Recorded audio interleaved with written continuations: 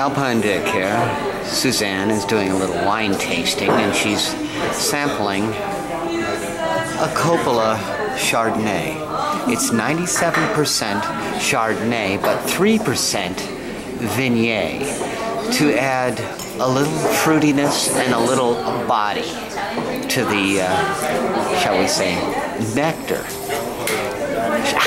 And we're only a quarter of a way through the, the sampling, and uh, Suzanne is already starting to dance, which is great. Alpine Dick in Coppola Vineyard.